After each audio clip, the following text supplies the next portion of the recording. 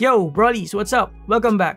In today's video, I just want to share with you a quick tutorial on how to install the Cooler Master MA610P ARGB CPU cooler on an AMD AM4 platform. Now, to be honest, the reason why I'm doing this is that I was about to use this on my previous PC build, but I soon found out that it doesn't fit the chassis. It was too tall for the supported CPU cooler height of the chassis, so I figured since I've already filmed the process, why not share it with you, right? Maybe some of you are having difficulties installing the CPU cooler and could help one way or another. With that being said, let's get into it.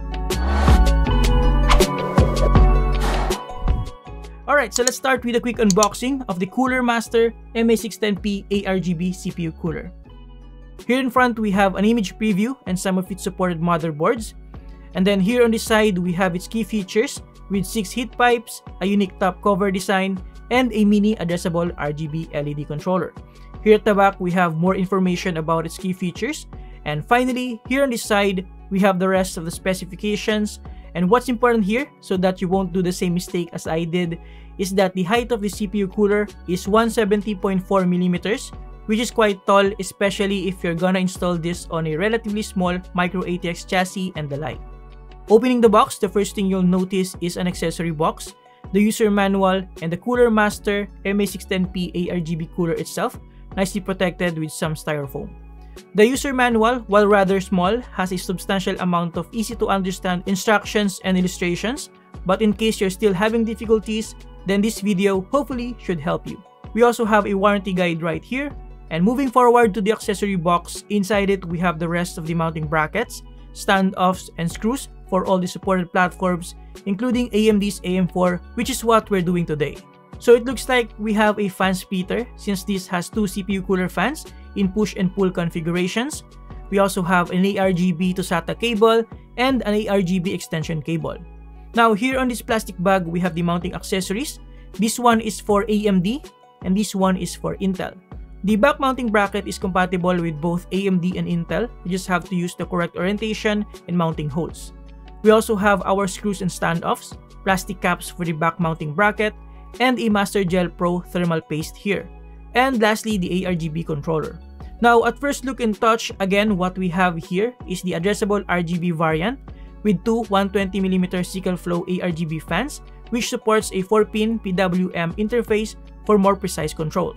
The cooler itself is quite massive and is covered almost entirely with a unique plastic shroud. Here on top, we have the iconic Cooler Master logo, which has an RGB lining around it, partnered with some RGB lining around the edges of the shroud as well.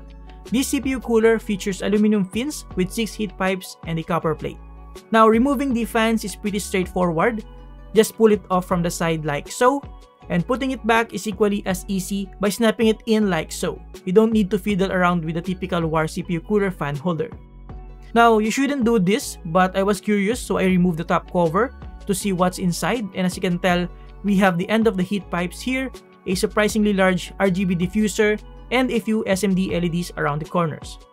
Alright, so with the unboxing experience and parts overview out of the way, let me show you how to install this on an AMD AM4 platform. Now for this installation, we're gonna need this Cooler Master backplate, these standoffs, and this adapter for tightening the standoffs. We also need these two mounting brackets, these mounting screws, and lastly, these mounting screw covers.